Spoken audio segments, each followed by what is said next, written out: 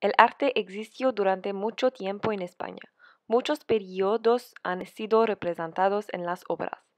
Todavía hoy, muchas obras que vienen de España son reconocidas a través del mundo. Los jóvenes que hoy son, son todavía capaces de reconocer algunos nombres de pintores españoles que tuvieron mucha influencia en el mundo del arte. Francisco Goya, Pablo Picasso y Salvador Dalí son todavía muy conocidos en nuestro tiempo. Francisco Goya no tuvo una vida muy fácil. Se mudó a Madrid y después en Italia durante un año. Eso le permitió conocer muchos grandes artistas. Sus primeros pedidos han sido mayormente para decorar iglesias. Después se volvió hacia los tapices satíricos. Finalmente, el periodo más estable de su vida fue marcado por el rey quien lo nombró el pintor del curso.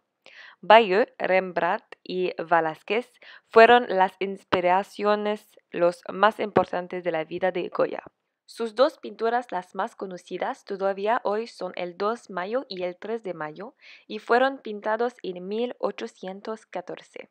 Fue muerto en Francia en 1828.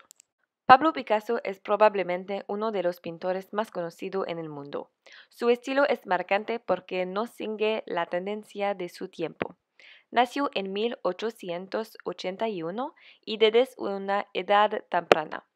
Impresiona los otros con sus pinturas. Sus primeras obras están firmadas bajo el nombre de Blasco, el apellido de su padre, pero a la edad de 19 entra en su periodo azul y firma ahora su obra con el nombre Picasso. Es más conocido por su movimiento cubista. También hizo colaje, escultura y dibujo con lápiz. El color y el humor de sus pinturas fueron muy influenciados por su vida amorosa. Pablo Picasso tuvo que ir a Francia para encontrar grandes grandes artistas que lo influenciaron como Cézanne. Al lado de Georges Braque, los dos pintores están en la parte superior del movimiento cubistas. Una de sus obras más conocidas se llama Guernica, hecho en 1963 y está ahora en el Museo Nacional Centro de Arte Reina Sofía en Madrid. Él también murió en Francia en 1963.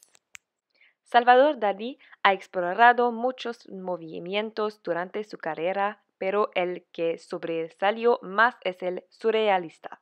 Solo estudió tres años en la Escuela Bella Arte porque fue despedido. En su gran boom, en los años 30, hace especialmente pinturas y esculturas. Sus obras dirigen especialmente los temas de religión y sexualidad. Se inspirado de sus propios sueños y contribuyó durante nueve años al movimiento surrealista hasta que su creador André Breton lo expulsó. También contribuyó en dos películas. Vivió en muchos países como Francia, Italia y Estados Unidos. Aprovechó para inspirarse de obras de todas maneras. También escribió dos autobiografías. Una de sus obras más conocidas en el mundo es el de los rejoles derretidos, la persistencia de la memoria. Finalmente murió en 1989 en su país natal, España.